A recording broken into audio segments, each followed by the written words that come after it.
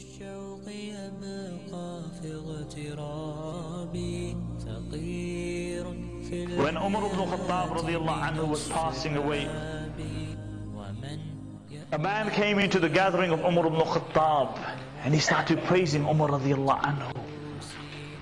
He said, O Amir al-Mu'mineen, you are great. O Amir al-Mu'mineen, you did this and you did that. And Umar radiallahu anhu said, tell me, will you bear testimony to this on the day of judgment?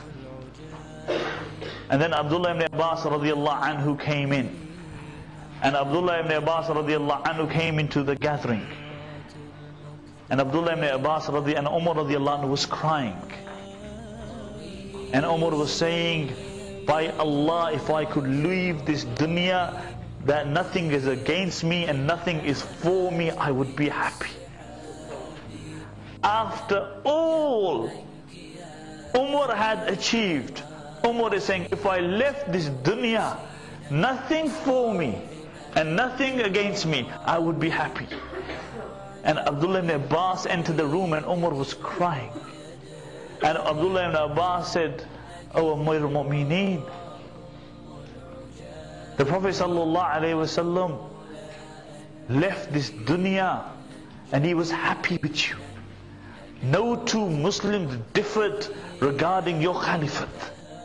Everybody was happy with your caliphate. And Umar radiallahu anhu said, I know that. But it is this matter which concerns me. This caliphate. This matter which concerns me. And then he said, Oh Abdullah, he said, he said, make me sit up. And they made him sit up. And then he, he touched Abdullah on the shoulder. And he said, oh Abdullah, will you bear testimony for me on the day of judgment? And Abdullah said, I will bear testimony for you on the day of judgment. And then Umar was lying in the lap of his son Abdullah ibn Umar. And he told Abdullah ibn Umar, he said, place my cheek on the ground. And Abdullah ibn Umar anhu said, why oh my father? Why oh my father? And he was kissing the forehead of Umar and he placed his cheek on the ground. He said, because if Umar is destined for Jannah, then the pillows of Jannah are softer than your thighs. And if Umar is destined for Jahannam, then you don't want a Jahannami on your thigh. Then Umar anhu told the family, he said, be moderate in my coffin, in my shrouds. Because if Allah has Jannah destined for me, then Allah will give me better than this.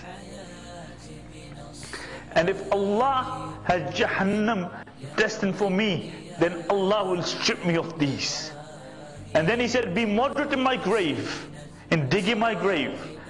Because if Allah has Jannah destined for me, then He will expand my grave.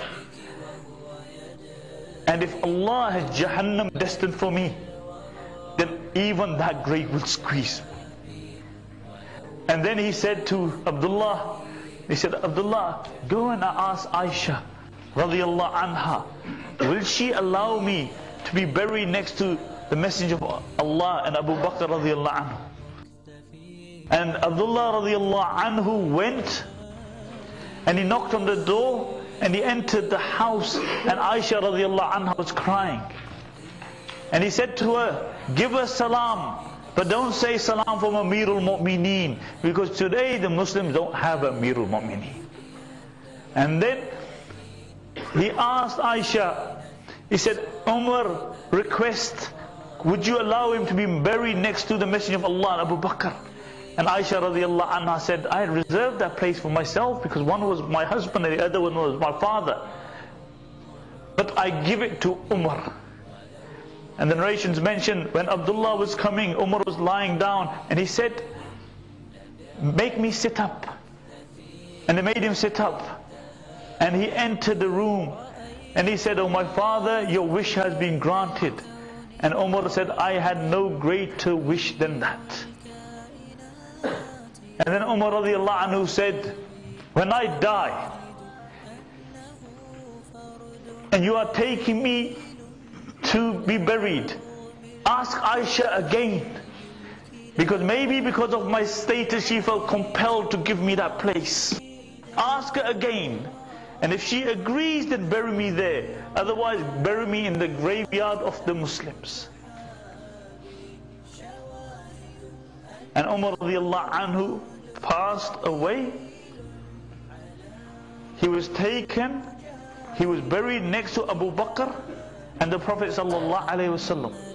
And the Prophet wasallam said, he said, a man dies from the earth and buried in the earth that he was created from. And the Prophet ﷺ said that between my rawdah and my pulpit is a rawdatun min riyad al-jannah, is a portion from the portions of Jannah. If a man is buried in the place from the land that he is taken and created from, that means Abu Bakr, Umar, and the Prophet ﷺ were created from the clay of Jannah. They were created by the clay of Jannah.